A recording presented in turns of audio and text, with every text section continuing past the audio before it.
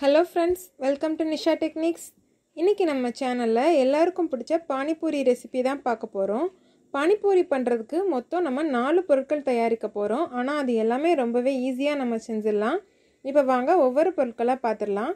முதல்ல நம்ம பானிபூரிக்கு தேவையான மாவு தயார் பண்ணிடலாம். இந்த மாவு தயார் பண்ணுறதுக்கு ஒரு கப் ரவை ஒரு கப் மைதா.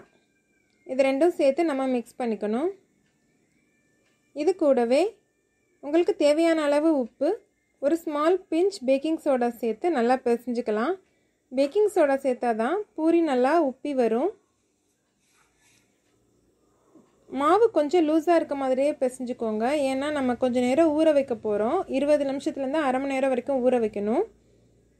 அதனால ரவை வந்து ஊறுற அளவுக்கு கொஞ்சம் நல்லா லூஸாகவே பிசைஞ்சுக்கோங்க. ஒரு பத்து நிமிஷமாவது நல்லா பிசைஞ்சுக்கலாம். இப்போ இதை தனியாக எடுத்து வச்சிடலாம். அதுக்கு அடுத்ததாக நம்ம பானிபூரிக்கு தேவையான அந்த பானி தயார் பண்ணிடலாம். இதுக்காக ஒரு கைப்பிடி அளவு புதினா ஒரு கைப்பிடி அளவு மல்லி இலைகள் ஒரு சின்ன துண்டு இஞ்சி ஒரு எலுமிச்சம்பழம் இது கூடவே ஒரு பச்சை மிளகாய். இப்போது இதில் எலுமிச்சம்பழத்தை மட்டும் எடுத்துட்டு மற்ற பொருட்கள்லாம் நல்லா கழுவி நம்ம மிக்சியில் சேர்த்து அரைச்சிக்கலாம். அரைச்சதுக்கப்புறமா நமக்கு தேவையான அளவு தண்ணி ஊற்றிட்டோம் அப்படின்னா பானிபூரிக்கு தேவையான அந்த ரசம் தயாரிச்சிடலாம். இப்போ பாருங்கள் நான் எல்லாத்தையும் நல்லா அரைச்சிட்டேன். இப்போ இந்த மாதிரி வடிகட்டி எடுத்துக்கோங்க. வடிகட்டினதுக்கப்புறமா இந்த எலுமிச்சம்பழ சாறையும் நம்ம புளிஞ்சு விட்டுறலாம். இதில் நீங்கள் புளி கரைசல் வேணும்னாலும் ஆட் பண்ணிக்கலாம். லெமன் ஊற்றினாலே போதுமானதாக இருக்கும். இப்போ இதில் தேவையான அளவு உப்பு ஒரு டீஸ்பூன் சாட் மசாலா சேர்த்து நல்லா மிக்ஸ் பண்ணிக்கோங்க. சாட் மசாலா ரெசிபி நான் ஏற்கனவே அப்லோட் பண்ணியிருக்கேன். டிஸ்கிரிப்ஷனில் செக் பண்ணி அதே மாதிரி நீங்கள் செஞ்சுக்கலாம். தான் பானிபூரிக்கு தேவையான ரசம் நம்ம தயார் பண்ணியாச்சு. அடுத்ததாக ஸ்வீட் சட்னி எப்படி செய்கிறதுன்னு பார்க்க போகிறோம் இதுக்காக நான் எனக்கு பத்து பேரிச்சம்பழம் எடுத்திருக்கேன். பேரிச்சம்பழத்தில் இருக்க விதைகள்லாம் நீக்கிட்டு இந்த மாதிரி ஒரு பாத்திரத்தில் கொஞ்சமாக தண்ணி சேர்த்து வேக வச்சுக்கோங்க. இது ஒரு ரெண்டுலேருந்து மூணு நிமிஷம் வரைக்கும் நம்ம வேக வைக்கணும். இது கூடவே அரை கப் அளவுக்கு நாட்டு சர்க்கரை சேர்த்துக்கலாம். இது ஒரு ரெண்டு நிமிஷம் போல் நல்லா கொதித்ததுக்கப்புறமா நல்லா கெட்டியாக எடுத்த புளி கரைசலை இது கூட நம்ம ஆட் பண்ணிக்கலாம். நான் அரை கப் அளவுக்கு புளி கரைசல் ஆட் பண்ணியிருக்கேன்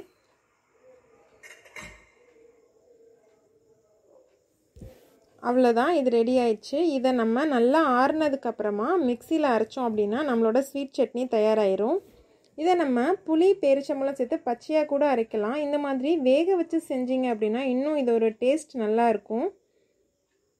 இதே மாதிரி நீங்களும் ட்ரை பண்ணி பாருங்கள் அவ்வளோதான் ஸ்வீட் சட்னி தயாரிச்சாச்சு. அதுக்கடுத்து தான் பானிபூரிக்கு தேவையான உருளைக்கிழங்கு மசாலா நம்ம இப்போ தயாரிச்சிடலாம்.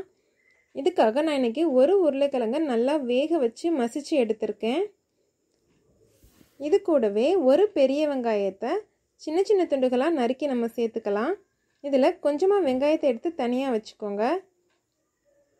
அது கூடவே ஒரு கைப்பிடி அளவு மல்லி இலைகள் ஒரு டீஸ்பூன் மிளகாய்த்தூள் ஒரு டீஸ்பூன் சாட் மசாலா தேவையான அளவு உப்பு. இதெல்லாம் சேர்த்து நல்லா மிக்ஸ் பண்ணிட்டோம் அப்படின்னா நம்மளோட உருளைக்கிழங்கு மசாலா தயாராகிடும் இப்போ உருளைக்கிழங்கு மசாலா நம்ம தயாரிச்சாச்சு. நான் நல்லா பெரிய கிழங்கா எடுத்து வேக வச்சு போட்டிருக்கேன். உங்களுக்கு தேவையான அளவுக்கு நீங்கள் போட்டுக்கோங்க. அவ்வளோதான் இப்போ பானிப்பூருக்கு தேவையான எல்லா பொருட்களும் தயாரிச்சாச்சு. இப்போது நம்ம பூரி தயாரிச்சிடலாம். மாவு நல்லா ஊறிடுச்சு. இப்போ ஒரு ஒர்க் ஏரியாவில் கொஞ்சமாக மாவு போட்டுட்டு நம்ம மாவு பரப்ப ஆரம்பிச்சிடலாம். இதை நல்லா தேய்ச்சிக்கோங்க. ரொம்ப திக்காகவும் இருக்கக்கூடாது ரொம்ப தின்னாகவும் இருக்கக்கூடாது. கொஞ்சம் மீடியமாக இருந்தால் தான் மாவு உப்பி பூரி நல்லா நம்மளுக்கு பெருசாக கிடைக்கும். இதில் உங்களுக்கு தேவையான சைஸில் ரவுண்ட் ஷேப்பில் நீங்கள் கட் பண்ணிக்கோங்க.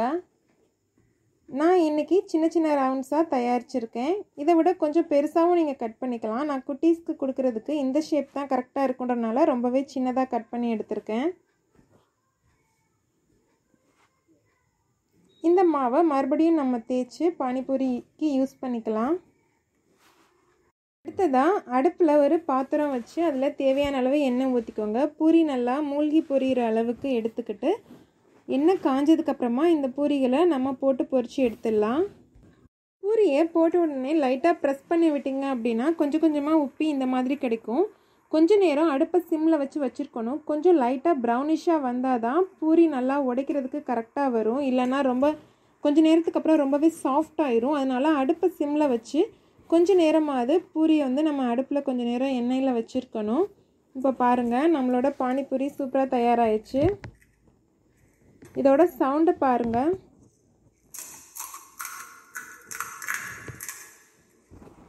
ரொம்பவே சூப்பராக நம்ம தயாரிச்சாச்சு. இப்போ இந்த எல்லா பொருட்களையும் நம்ம அசம்பிள் பண்ணிட்டோம் அப்படின்னா நம்மளோட டெலிஷியஸ் பானிபூரி ரொம்பவே சூப்பராக தயாராகிரும் உருளைக்கிழங்கு மசாலா ஸ்வீட் சட்னி நான் இந்த பானிபூரிக்கு தேவையான ரசத்தை பவுலில் எடுக்காமல் இந்த மாதிரி ஒரு கேனில் ஊற்றி வச்சுருக்கேன். இது வந்து ஊற்றுறதுக்கு ரொம்பவே ஈஸியாக இருக்கும். ரொம்ப ஹைஜீனிக்காகவும் இருக்கும். இப்போ பூரி அந்த மாதிரி லைட்டாக உடச்சி விட்டுட்டு கொஞ்சமாக உருளைக்கிழங்கு மசாலா அதுக்கு அடுத்ததாக கொஞ்சமாக ஸ்வீட் சட்னி அடுத்து நம்ம எடுத்து வச்சுருக்க ரசம். இது மூணையும் நம்ம ஆட் பண்ணிடலாம் இதுக்கப்புறம் உங்களுக்கு தேவைன்னா கொஞ்சமாக ஆனியன் போட்டுக்கோங்க. இது ஆப்ஷனல் தான்.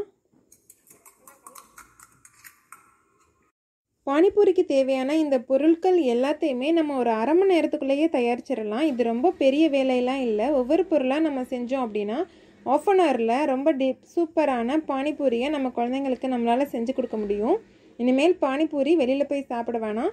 வீட்டிலையே தயாரித்து வீட்டிலையே கொடுங்க. ரொம்பவே ஹைஜீனிக்காக இருக்கும். உங்கள் கிட்ஸ் கண்டிப்பாக இதை ரொம்பவே விரும்பி சாப்பிடுவாங்க. இதே ரெசிபியை நீங்களும் வீட்டில் ட்ரை பண்ணிவிட்டு உங்களோட எக்ஸ்பீரியன்ஸை எனக்கு கமெண்ட்டில் சொல்லுங்கள் இந்த வீடியோ உங்களுக்கு யூஸ்ஃபுல்லாக இருந்துச்சுன்னா லைக் பண்ணுங்கள் ஷேர் பண்ணுங்கள் மறக்காமல் நிஷா டெக்னிக்ஸ் சேனலை சப்ஸ்கிரைப் பண்ணிவிடுங்க தேங்க்யூ